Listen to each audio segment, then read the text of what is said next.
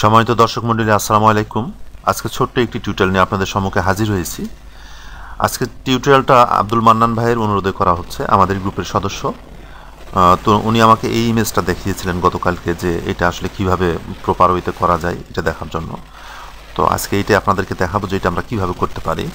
আমি এটাকে কিছুটা ছোট করে সরায় রাখছি সাইডে দেন আমরা প্রথমত যা করব, তা হলো টুলবার থেকে রেক্ট্যাঙ্গেল টুলটা আমরা সিলেক্ট করব। দেন শিফট এবং অল কি চেপে ধরে আমি ড্রাগ করছি।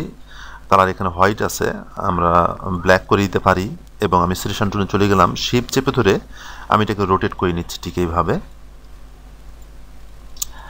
দেন আপনারা দেখতে পাচ্ছেন যে এটার দুই সাইডে রাউন্ডেড হয়ে আছে মানে এই সাইড এবং এই সাইড রাউন্ডেড হয়ে আছে। তো এই রাউন্ডেডটা আমরা কতটুকু করব, এটা করার জন্য আমি প্রথমত এটাতে সিলেক্ট করে কন্ট্রোল সি এবং কন্ট্রোল এফ প্রেস করছি। তাতে এর উপর একটা কপি এবং পেস্ট হলো। যেটা কপি পেস্ট হলো, সেটাতে আমি ভিন্ন কালার দিচ্ছি এবং শিপ চেপে ধরে আমি নিচ থেকে ঠিক উপরে নিয়ে নিচ্ছি। আসলে এটা হবে এই যে উপরে যে সাদা অংশটা আপনারা দেখতে পাচ্ছেন, এটা। তো এটা কত ছোট বা বড় করবেন, সেটা আপনারা ঠিক করে নেবেন চোখের মাপে। আমি এই মতো রাখলাম। এরপর ডাইরেক্ট সিলেকশন টুল দিয়ে আমি এই অ্যাঙ্কর পয়েন্ট সিলেক্ট করলাম এবং শিপ চেপে ধরে এই অ্যাঙ্কর পয়েন্ট সিলেক্ট করলাম এবং এই পয়েন্ট ধরে আমি এটাকে রাউন্ডেড করে ফেলব এবং রাউন্ডেডের যে উপরের অংশটা বা উপরে মাথাটা, ঠিক এই বরাবর আমি শেষ করলাম আর কি। ঠিক এই। এরপরে শিপ চেপে ধরে এটা আমি একটু বড় করে নিচ্ছি এবং কালারটা আমি স্টোকে নিয়ে যাচ্ছি। এরপর আমি পেন টুল সিলেক্ট করলাম। সিলেক্ট করার পর আমি ঠিক এখানে ক্লিক করছি এবং নিচে ড্রাগ করে নিয়ে চলে আসলাম এ পর্যন্ত। এবং ডাইরেস্ট্রেশন টুল দিয়ে আমি এই অ্যাঙ্কর পয়েন্ট সিলেক্ট করে আমি ডিলিট করে দিলাম। তার মানে এইটুকু অংশ আমাদের দরকার। এখন আমরা এটা এবং শিপ চেপে ধরে এটা সিলেক্ট করলাম। সিলেক্ট করার পরে আমরা স্ট্রোকটা এখানে বাড়াই নিব। যে আসলে এই যে এখানে তিনটা খণ্ড হয়ে আছে, এই তিনটা খণ্ডর মধ্যে কতটুক গ্যাপ থাকবে বা থাকবে না, সেটা আমরা এখানে নির্ধারণ করে নিব। তো আমি এখানে এটা আমাদের ইচ্ছা মতো আমরা করে নিব আর কি। আমি আট পিটি রাখলাম। দেন আমার মনে হচ্ছে যে, এই যে উপরে যে অংশটা, এটা খুব ছোট হয়ে যাচ্ছে। তো আমরা চাইলে এটা কিছুটা নিচে নামাই নিতে পারি ঠিক এইভাবে তো যখন নিচে নামাচ্ছি, তখন আমাদের এটা ছোট হয়ে যাচ্ছে। তাহলে আমরা এমন করতে পারি যে, এটাকে কিছুটা আমরা বড় করে নিতে পারি ঠিক এইভাবে এরপরে এটার সঙ্গে সিলেক্ট করে আমরা প্রয়োজন মতো, আমার মনে হয় এখানে অ্যালাইন হয়ে নাই, আমরা এটার সঙ্গে অ্যালাইন করে নিতে পারি মিডিল অ্যালাইন হ্যাঁ ঠিক আছে। এরপর আমরা এটাকে কত উপরে বা কত নিচে রাখতে চাই, এটা আমরা ঠিক করে নিব। আমি ঠিক এই পরিমাণ জায়গায় রাখছি। এরপরেও এটাকে মুভ করা যেতে পারে। এরপর আমি অবজেক্ট থেকে এক্সপ্যান্ড করে ফেললাম। ঠিক এই। এবং সবগুলো সিলেক্ট করে পাথফাইন্ডার অপশনে এসে মাইনাস ফ্রন্ট করে দেব।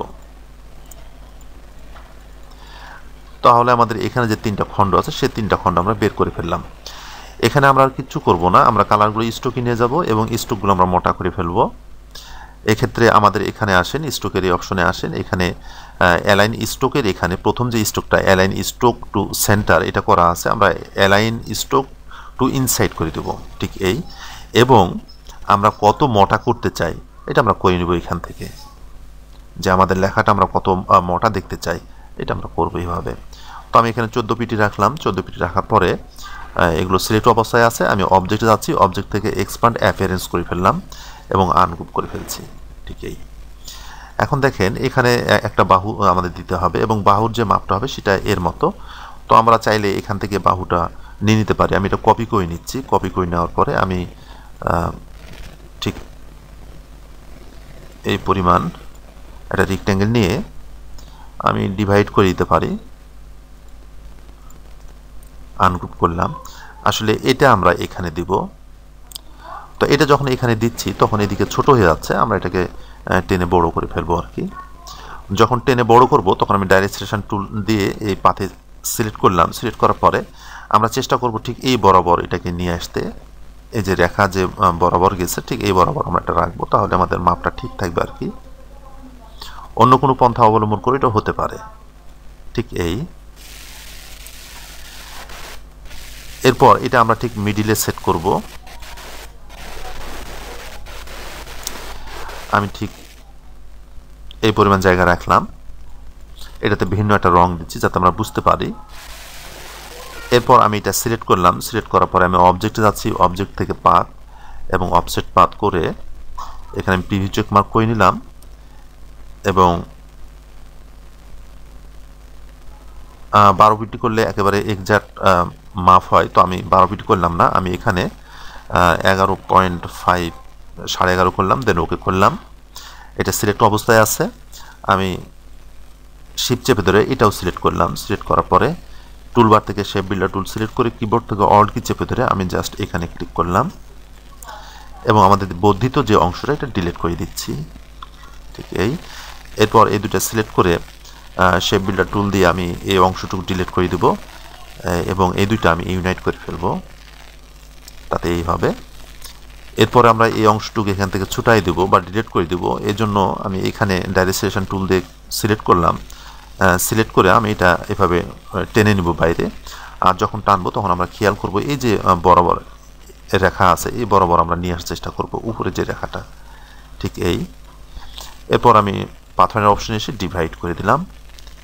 যেহেতু আমরা ডাইরেক্ট টুলে আছে আনগ্রুপ করার দরকার নাই, আমি এটা ডিলিট করে দিচ্ছি। আমরা জানি এর মধ্যে একটা ময়লা তৈরি হবে সেই ময়লাটা আমরা ডিলিট করে দেব। ঠিক এইভাবে। তো যখন এটা হয়ে গেল, তখন আমাদের আর দরকার নাই এটা করার।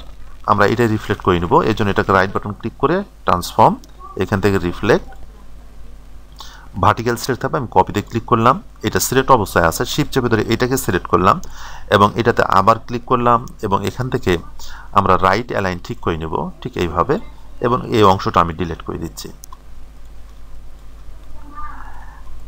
এখন যেটা আসে, সেটা হচ্ছে এখানকার কাজ। আমি এটা কপি করে রাখছি। একটু ছোট করে নিই। আর এগুলো ডিলিট করে দিচ্ছি এখান থেকে? এটা আমি শিপ চেপে ধরে এটা রোটেট করে নিচ্ছি। এরপর আমি এখান থেকে বাহুর মাপটা নিয়ে নিব। আমি ডিভাইড করলাম আনগ্রুপ করলাম, এবং এটা ঠিক আসলে মিডিলে দিব আর কি। এবং এখান থেকে এটা বের করে ফেললাম। বের না করলেও কোনো সমস্যা নাই। আমরা ইউনাইট করে দেব।